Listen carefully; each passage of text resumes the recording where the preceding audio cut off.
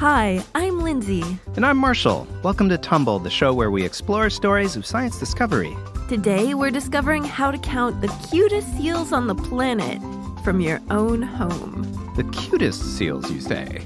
Yep, they live in Antarctica and they look like puppies with fins instead of legs. Oh, that's cute.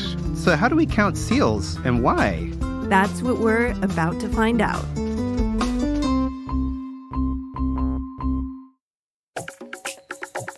When I called up Leo Salas, a scientist who helped lead the first ever global count of Weddell seals, I asked the hardest question first.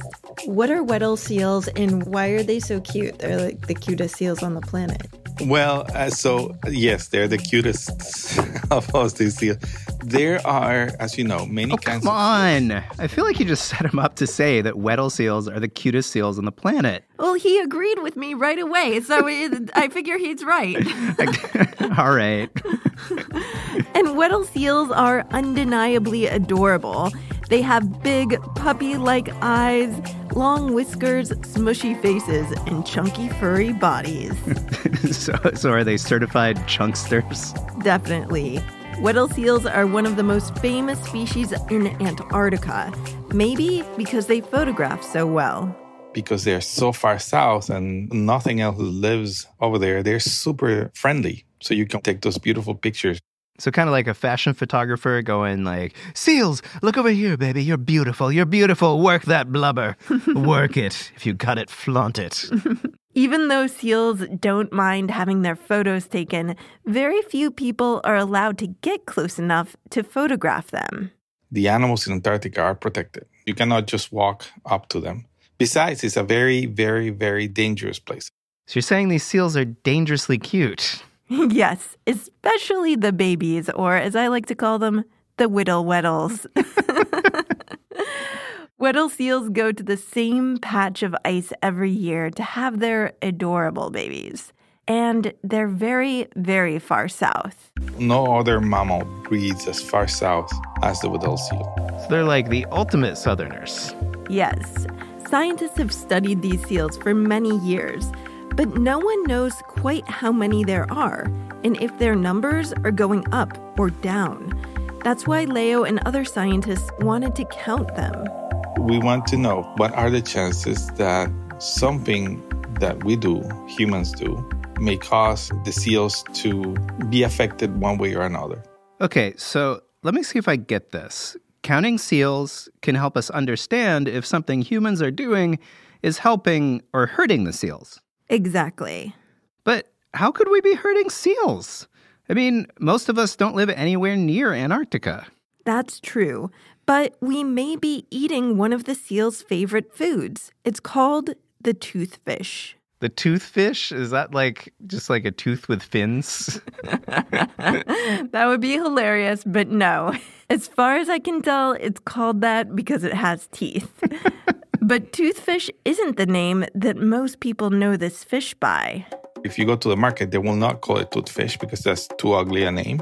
They call it Chilean sea bass. Really? I feel like I've seen Chilean sea bass on the menus of restaurants. It's like really expensive fish, and you get it in fancy places where waiters have ties. but it's neither sea bass and most certainly nor Chilean. but they call it that because it sounds like, you know, when you go, oh, you guys, Chilean sea bass. Wow. So Leo's saying seals eat this fish as toothfish, but we eat it as a Chilean sea bass, which is not where it's from, nor the kind of fish that it is. That's correct. If you see a Chilean sea bass, in most cases it came from Antarctica.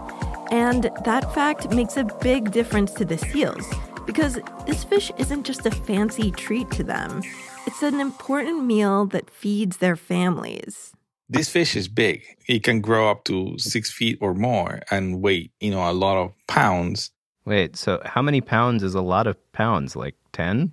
no, they can get up to almost 300 pounds or 135 kilograms. That's like two people. The seals, which are, you know, big animals, they're four meters long, uh, 12 feet or more. They can grab that fish and eat it. Okay, wow. So, like, everything here is much bigger than I thought. It's a huge seal eating a huge fish. Yes, the toothfish are twice as big as any other fish nearby. Those fish, to grow that big, they eat other fish. Recently, scientists have noticed something about these smaller fish that the toothfish eats. There's more of them than there used to be. So we know that something is being altered in the food web. Wait, so what's a food web? A food web is all the connections between living things in an ecosystem through feeding. So, like, who's eating who? Exactly. It's a delicate balance. Leo and other scientists suspected that humans were tipping it off by becoming toothfish's new predators. But to find out, they needed to know if the number of seals go down as more toothfish, or Chilean sea bass, are fished. So it's like a scale. As one end goes up, the other end goes down. Exactly. But getting a clear picture in a complex food web is easier said than done. It is kind of like trying to figure out how many socks are in the drawer. And it's a very, very, very, very big drawer, and you're almost blind, and you're wearing mittens. I mean, that's what I do every morning, so I have no problem understanding what he's talking about. Just got to get the blindfold on, put on the mittens, and count the massive drawer full of socks. I always think that really slows down your morning. Just got to wake up four hours earlier. It's important those socks get counted. But what Leo is really saying is that there's so much we don't understand about how this food web works. Getting an accurate seal count is the first step to removing the blindfold. Yeah, isn't the number of animals like the first thing you want to know about big famous animal species? Like when you open up the zoo book, there's always 10,000 to 30,000 in Africa. Weddell seals have proved hard to count because of their environment. We cannot do it in person. We cannot go and fly or sail to where they are because it's very dangerous, very, very dangerous. Oh yeah, so yeah, there's the slippery ice and all that, and the like bitter cold. Right. Scientists had attempted to count the seals before, but Leo had reason to believe that the last count was too high. There was an estimate of the abundance of the seals in the entire continent based on counts made by helicopter. Counting by helicopter? That sounds cooler than counting on land, for sure. They flew over areas that they knew they would find seals. They counted a number and then they estimated, oh, there may be 800 to 900,000 seals. The heli counters flew over a couple of areas with seals, took photos, and counted them. Then they multiplied that out over the rest of the continent. The problem is that that's not how seals are found on the ice. They clump. In other words, there's not an equal amount of seals across every part of Antarctica.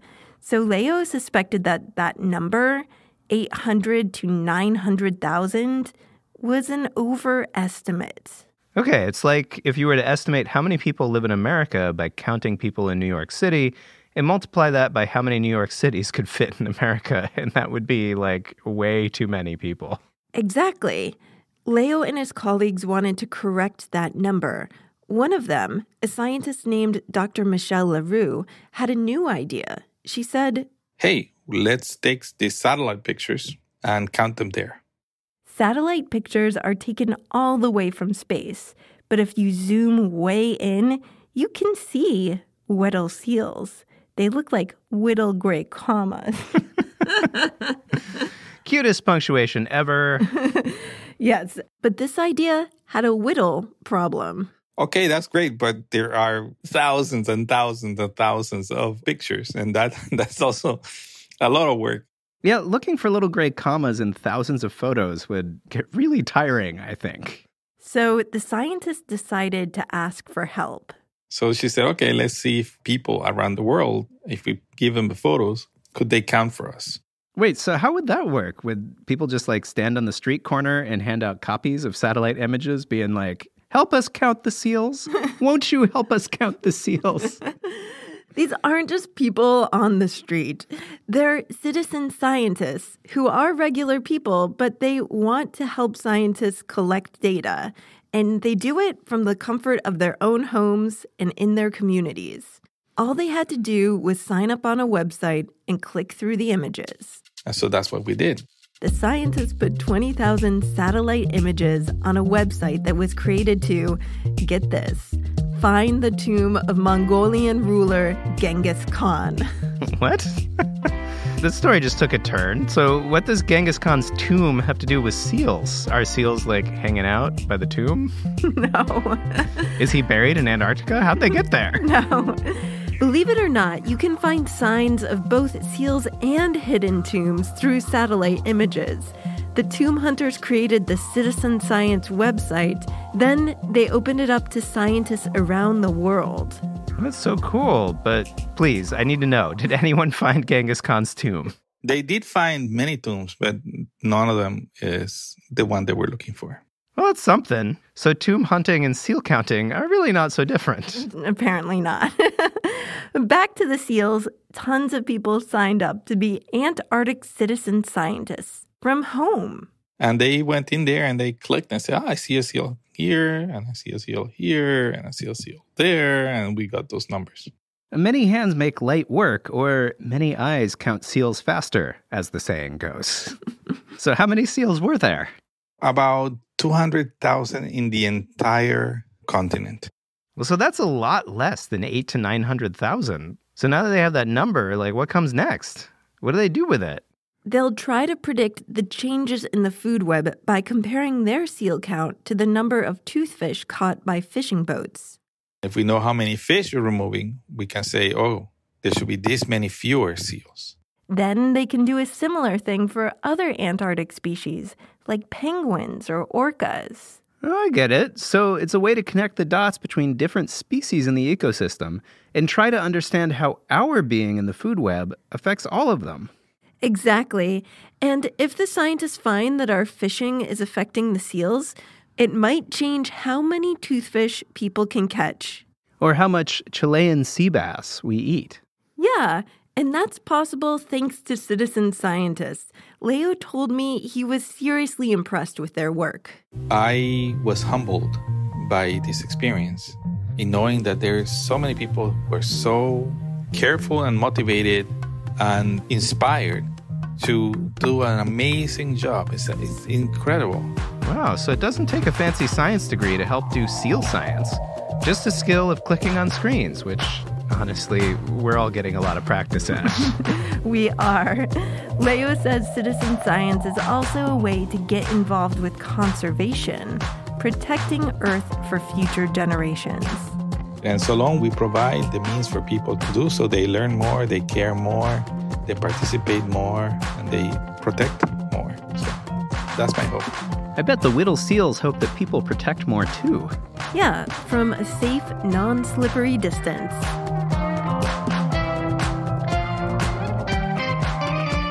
You may have heard some interesting sounds in the music in this episode. Sounds like this one.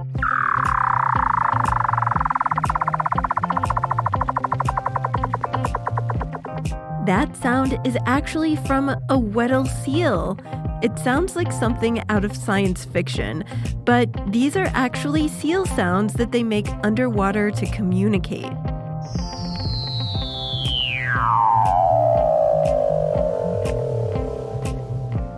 Now, can you hear the seals in the music?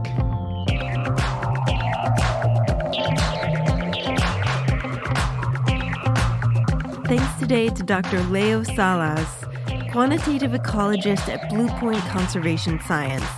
And special thanks to the Weddell Seal Science Project, which provided the seal recordings.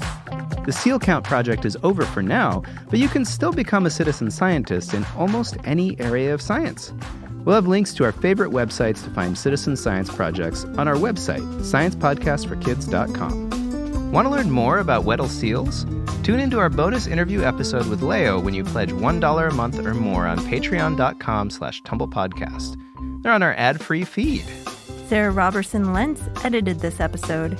Eric Kuhn is our engineer and mixer. And I'm Lindsay Patterson, and I wrote this episode. And I'm Marshall Escamilla, and I made all the music. Tumble is a production of Tumble Media. Thanks for listening, and tune in next time for more stories of science discovery.